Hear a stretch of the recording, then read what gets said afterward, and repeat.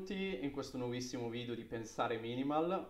Io sono Eric e qui abbiamo davanti un uh, grandissimo personaggio che appunto è eh, Andrea Ripamonti, poliglotta, ma non solo. E parliamo comunque di una persona che è veramente piena di risorse.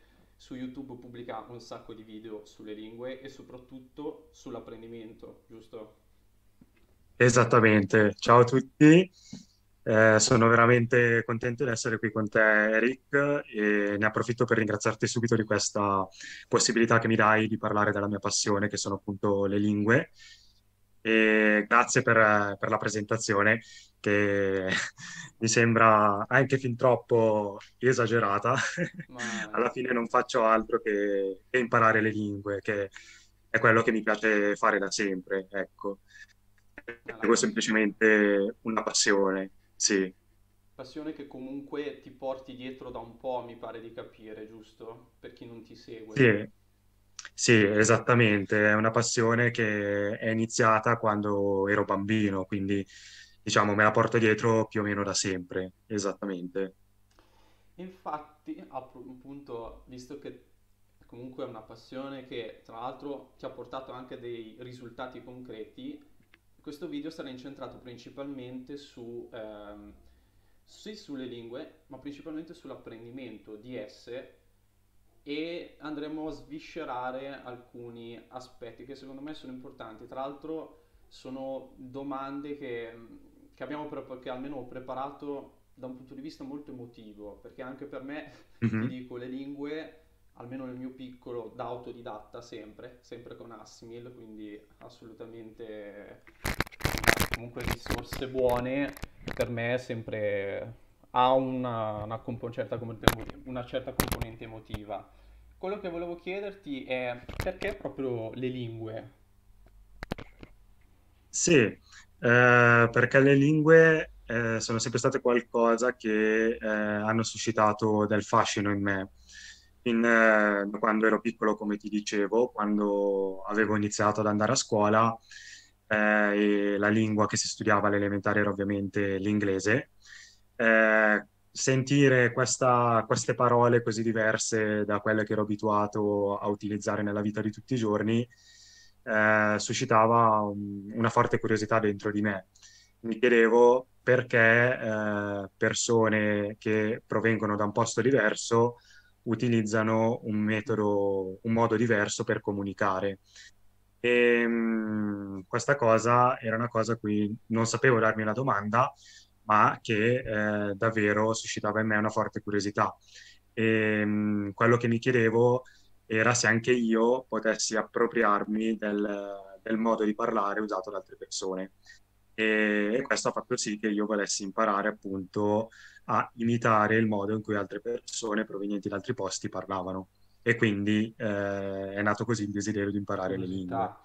Curiosità Esatto, e comunque mi pare anche di capire, eh, comprendere eh, persone da contesti diversi, giusto?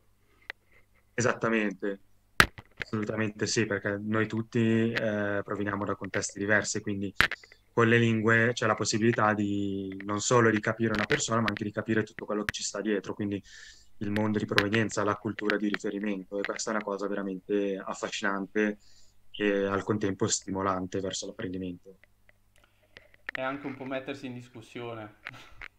senz'altro. È importante nell'apprendimento, eh, mettersi, mettersi in discussione per poi trovare il miglioramento. Esattamente, perché quando impari una lingua capisci un po' anche quali sono le tue difficoltà, che non sono difficoltà solo legate al campo linguistico, ma eh, più in grande riguardano proprio magari anche il tuo atteggiamento verso lo scoprire una cosa nuova. E quindi assolutamente quando tu impari una lingua, impari anche proprio a migliorare la tua maniera di porti nei confronti, nel confronto delle cose e del mondo. È un espandersi, un espandere il, Sì, mind- il esatto. mindset, che tra l'altro è un termine abbastanza abusato, mindset o mentalità, parliamo della stessa cosa. E a proposito di mindset e di eh, comunque curiosità, secondo me c'è una differenza netta tra studiare e imparare. E perché secondo te è importante invece imparare piuttosto che studiare una lingua? Mm-hmm.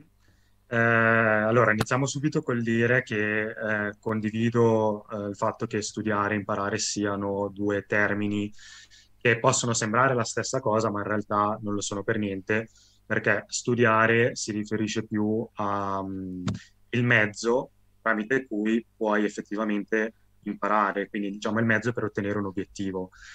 Quello che eh, io da sempre cerco di fare è appunto eh, imparare. Il mio obiettivo è quello di saper padroneggiare diverse lingue e lo studio non è altro che un mezzo per arrivarci.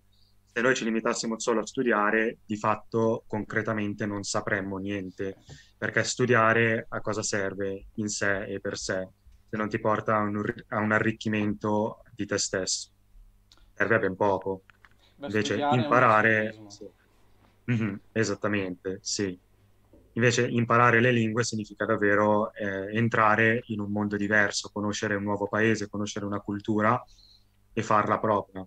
In questo senso, infatti, mi definisco spesso uh, un cittadino del mondo. Mi... Sì, certo, sono italiano, però allo stesso tempo, nel momento in cui parlo una lingua e entro in un nuovo mondo, sinceramente riesco anche a sentirmi parte di quel mondo. È una cosa molto bella questa. Immagino, immagino. Quanti posti hai visitato fino adesso? Ah, guarda, fino a qualche tempo fa tenevo il conto di tutti i paesi, adesso devo ammettere che mi sono un attimo perso, però sicuramente, eh, almeno l'ultima volta che li avevo contati erano più di 30 i paesi che ho visitato. 30. Sì, quasi tutti, purtroppo per ora, quasi tutti solo in Europa in quanto, vabbè, anche in questi ultimi anni chiaramente avevo dei progetti, tra l'altro, di andare un po' in altri continenti, ma purtroppo per il momento sono ancora in stand-by. Esatto. Però sicuramente tra i paesi che ho visto e che sono quelli che forse più di tutti hanno saputo arricchirmi, direi la Russia, tra l'altro il russo è una delle lingue che più mi piacciono, ma anche un paese molto affascinante che è la Georgia, che bello per la sua posizione ai, ai confini dell'Europa, vicino all'Asia. Posti che, diciamo, rispetto a quelli più blasonati dici, ma che cosa potrebbe avere di speciale? Invece, comunque, è anche lì è sempre il succo del discorso che affrontavamo prima, cioè proprio il porsi eh, nella condizione di rivalutare anche l'opinione che avevamo di una cultura. È per questo che esatto comunque per questo che faccio, che mi è venuta in mente questa domanda qui, che, mi, che tra l'altro è, è, il motivo per cui ho fatto la terza, per cui ho ovviamente fatto anche la terza domanda, perché sono, sono domande che spero, che spero non siano troppo banali, nel senso... Spero che, siano, no. spero che siano a, misu- a misura di Ripamonti, ecco. E visto che abbiamo parlato appunto di cultura, fattore molto importante così come appunto la comunicazione, e si collega a un altro video che ho fatto con, uh, con uh, Francesco, cioè la comunicazione e l'ascoltare, sono mm-hmm. cose fondamentali. E tra l'altro, appunto, eh, la domanda che volevo porti è che cosa significa per te capire una persona che non parla italiano?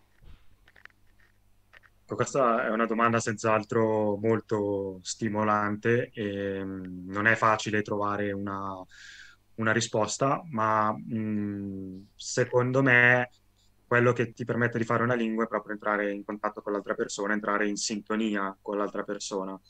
E mh, mm, se tutto il mondo parlasse la stessa lingua, eh, come di fatto un po' in sostanza già avviene con l'inglese, che comunque è la lingua, diciamo, universale, secondo me eh, si dà luogo a un impoverimento di quello che sono effettivamente i legami interpersonali, perché quello che ti permette di fare una lingua, ovvero eh, per appunto imparare una lingua e poi parlare con il madrelingua, è bellissimo perché tu entri proprio nel modo di vedere le cose che ha l'altra persona e che non è il modo in cui vedono le cose gli italiani piuttosto che gli inglesi. E quindi assolutamente eh, imparare una lingua ti permette di entrare davvero in contatto con l'altra persona, di creare un legame che una lingua terza, una lingua ponte non, non permetterebbe davvero di creare. condivido assolutamente. Mi fa venire in mente un'esperienza che ho fatto in Romania un- durante un Erasmus, un un Erasmus tra l'altro Mhm. molto particolare e lo dico perché mi, mi- mi sa che mi pare di capire che dai radar, dai miei radar, ti piace molto la Romania Esatto, e sì. un paese Hanno anche che, visto bene. paese che a me piace. Io sono stato a Brebunou, non so se lo conosci, questo posto è abbastanza Mm, vicino a Reshica, dove? vicino a Reshica, Ah, ah, ok, sì, posto abbastanza in mente la zona. Ho fatto un Erasmus bellissimo, comunque con eh, ragazzi rom- romeni ovviamente, molto formante come esperienza. Mhm, Quando tu hai parlato di storie, mi è venuto in mente la storia che mi ha raccontato questo capogruppo. Ovviamente i capigruppo ehm, ovviamente instaurano un rapporto con eh, appunto chi fa l'Erasmus e mi è venuto proprio in mente questo, cioè lui mi ha raccontato il suo vissuto, il suo vissuto che tra l'altro non è un vissuto semplice e, e ogni volta che penso al fatto che so l'inglese, tra l'altro mhm, mi piacerebbe sapere anche, eh, che a me piacerebbe sapere altre lingue, per il momento me la cavo con l'inglese, è proprio questo, c'è il um, porsi nella condizione di ascoltare sto- le storie che hanno da raccontarti gli altri, per evolverti, Esatto, evoluzione. assolutamente. Sì, sì, sì, questo senz'altro. E E poi, sì, soprattutto penso che quando hai anche l'occasione di, di viaggiare in posti come per esempio tu mi dici sei stato in Romania, andare in questi posti che sicuramente non sono quelli più, diciamo, gettonati, ti permette anche di, di scoprire culture che davvero hanno tanto da darti e che eh, ti stupiscono, perché spesso non te l'aspetti quanto siano ricche queste culture e anche molto accoglienti verso chi è in grado di, di aprirsi a loro. Esattamente. Basta comunque avere, anche lì, è un atteggiamento di, di umiltà, chiamiamolo così, Mhm. o almeno io lo chiamo così. E direi che secondo me è stata un'intervista breve, ma secondo me molto intensa. Che cosa Mhm. ne pensi? Concordo, sono state tre domande che non erano per niente semplici e che sicuramente credo che hanno interessato molto anche chi ci sta ascoltando in questo momento.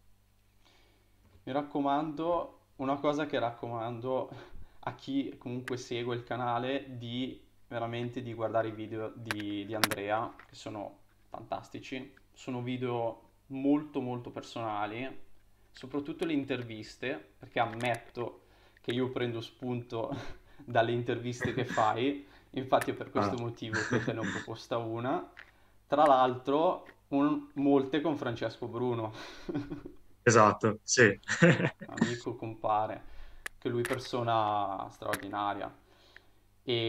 È un E grande poliglotta. grande poliglotta, io mi, ehm, non è per fare troppa pubblicità, ma avrei in mente di fare qualcosa personalmente con lui, anche perché è un uomo molto impegnato ed è un uomo che ama crearsi gli impegni, perciò, Mhm, perciò è lecito, è lecito comunque mettersi all'opera. certo. Ti ringrazio Andrea, è stata veramente un'intervista sì breve ma intensa. Non so veramente come ringraziarti perché è un onore. Io da piccolo youtuber quale sono, sono veramente contento di, di aver fatto un'intervista a te, che hai tanto da dire, in più lingue tra l'altro. E, e niente, secondo me possiamo salutarci qui. Ti ringrazio ancora e Grazie a te, Eric, grazie mille. davvero. E, e buon proseguimento e, e niente, ti aug- ovviamente ti auguro il meglio e soprattutto di, che ne so, di imparare più lingue possibili.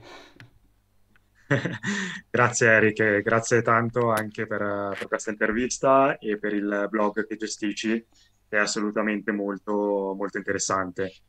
Per cui eh, sicuramente chi ti sta guardando già ti segue, ma non mancherò di, di indicarlo anche ai miei contatti. grazie mille. Altro. Bene, bene. Scambio di, di informazioni. Ci Esatto. sentiamo ad un prossimo episodio e ringraziamo sempre Andrea. Alla Ciao, prossima. ciao, Ciao. ciao.